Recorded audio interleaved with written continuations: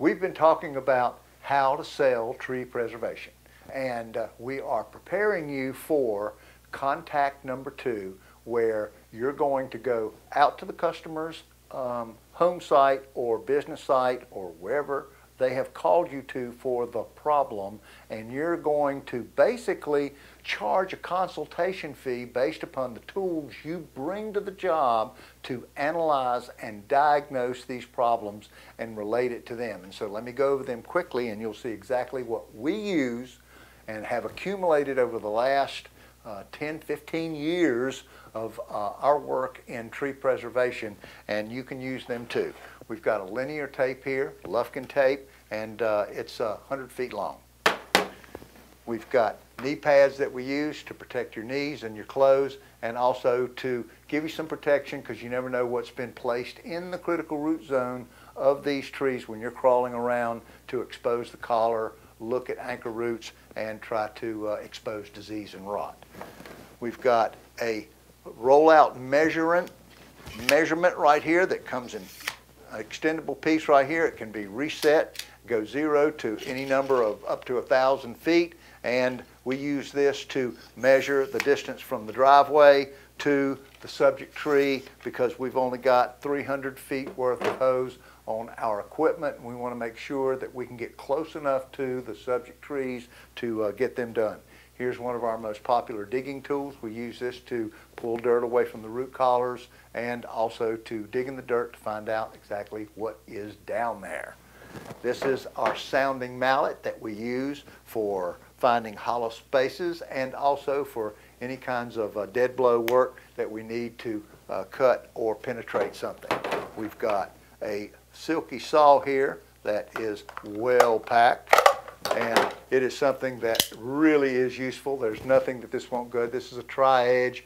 It's especially useful. It's a, uh, a good tool to have to cut through roots when you can't get to a part of the tree that you want to because you're being uh, blocked by the uh, proliferation of roots that are growing under the soil.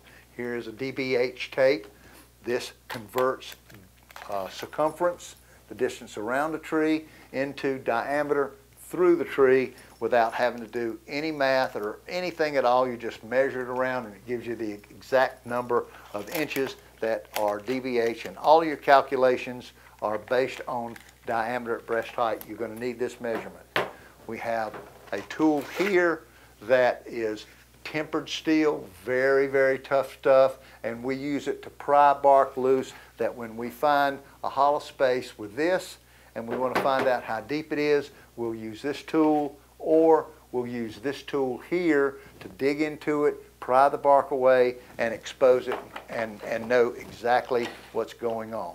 We've got a field microscope that comes in uh, two parts. It's made by Pentax. It is a, uh, we found it to be very useful because many of the insects, mites and galls and, and other types of uh, uh leaf infesting, defoliating type insects are almost invisible to the naked eye. And if you can pull this out, uh, it's uh, easy to put together. You take your two caps off and bingo, you're ready. And you put it down and it, uh, with a little uh, bit of practice, uh, it uh, will uh, give you a microscopic look at the insect that you happen to be finding. We have a clinometer, and when you learn how to use this baby, it'll tell you exactly how tall a tree is. We use this right here to measure a 100-foot distance back from it, and then away you go. We have two other tools that are actually my most used tools. And this is a core sampler, has uh, the soil horizons that are demonstrated. We've got a little tool here that we use to poke the dirt out of the end of it. We have an additional tool that's called a penetrometer. This is probably the most expensive one out of all of it. Uh, it might cost you a couple of hundred bucks, but this is what I usually put in the customer's hand and have that person try and drive it into the ground because many times we can only get this much into the ground. And if they wonder why their tree is suffering, this is all about your consultation. You're there to give them information about why this tree is getting sick. why this tree doesn't look good. And one of the first uh, areas you're going to find is compacted soil. And this is very, very good. It has a scale here that if they can't push it in and the needle goes to red, uh, it's already too tight for root growth. We have a couple of markers that we use. This is flag with a staple that we use. You just take a small strip of this tape and with a staple right here, boom, you can take it, put a little piece at the bottom, and that way only you and the owner know which trees are marked for treatment. It doesn't confuse any of the neighbors that are coming by and they see this. We also use tags. This is a metal tag. One is aluminum.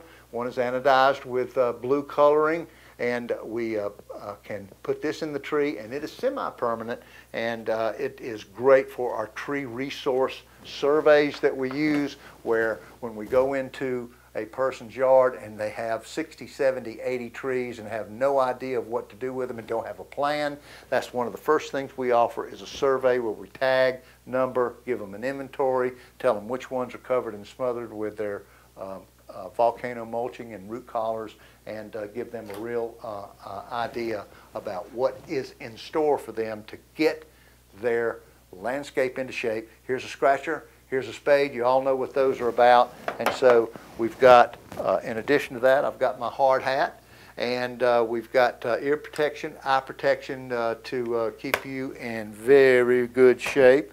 And I would recommend that you use all of these tools.